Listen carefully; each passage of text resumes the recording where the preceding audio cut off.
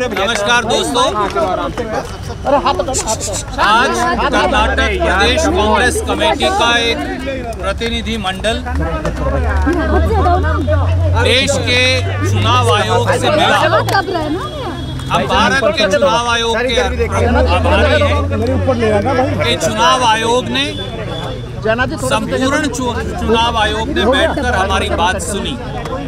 कर्नाटक में हाँ, हाँ, मुख्यमंत्री हाँ, बसवराज बोमई के नेतृत्व में वोट चोरी करने का एक बहुत बड़ा षड्यंत्र और घोटाला हुआ है ये देश का सबसे बड़ा वोट चोरी और वोटर की तो इंफॉर्मेशन चोरी घोटाला है बेंगलोर में इंचार्ज मंत्री खुद मुख्यमंत्री बसवराज बोमई है और उनके तत्वाधान में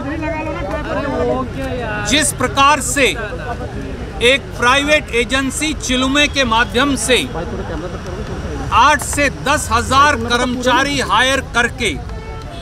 एक एक वोटर का वोटर डेटा चोरी करके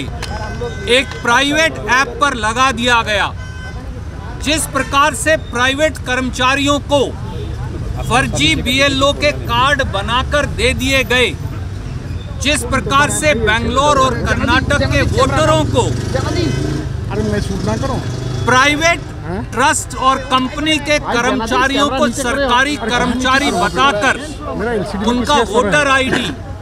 उनका पता उनका फ़ोन नंबर उनका आईडी, उनके ईमेल, उनके सेल फोन नंबर उनके परिवार की सारी इंफॉर्मेशन तो इकट्ठी की गई तो और चोरी कर ली गई वो दर्शाता है कि ये वोट चोरी का सबसे बड़ा स्कैंडल है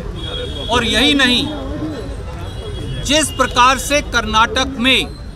आनंद फानन में रातों रात 27 लाख वोट जोड़ दी गई और 11 लाख वोट काट दी गई ये अपने आप में एक बहुत बड़ा घोटाला है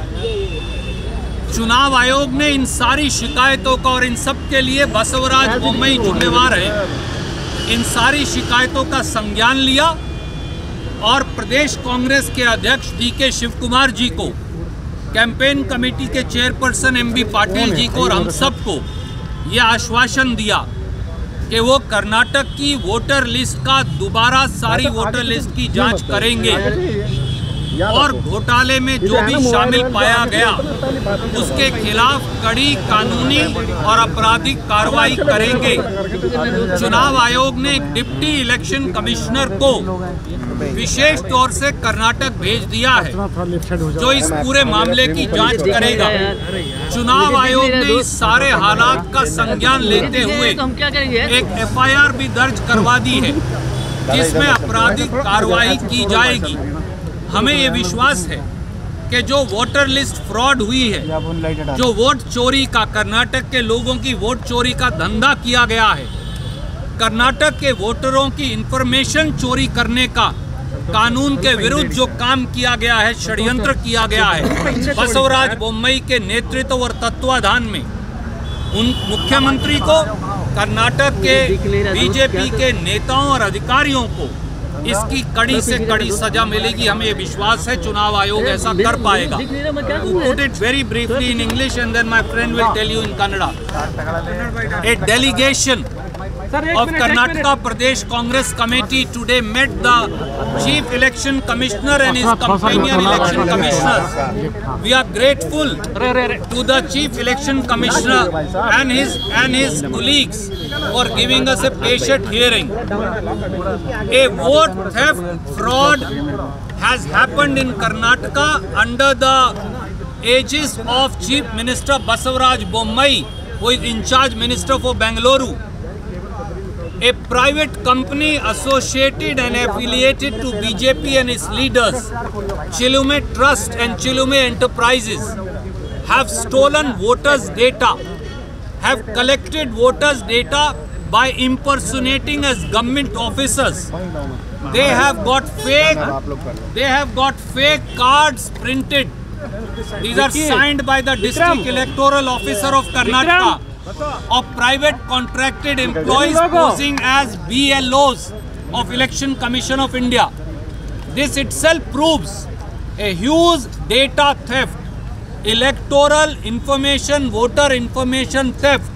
fraud, criminal breach of trust and conspiracy has taken place. And this entire data has been uploaded to a, to a private app. Not only this, in Karnataka in the recently uh, voter list, 27 lakh votes have been deleted and 11 lakh votes have been added. We showed to Election Commission as to how constituencies have been targeted in order to add and subtract so many votes of scheduled caste, of scheduled tribes, of poor, of backward classes, of minorities in order to affect the election outcome. Election Commission of India has heard us patiently for an hour, taken note and told us that Election Commission of India has already lodged an FIR. They will take criminal action. Election Commission of India has sent its Deputy Election Commissioner to Karnataka to look at and investigate the entire matter. They have assured us that they will clean the entire voter list afresh and will not let any wrongful addition or deletion happen.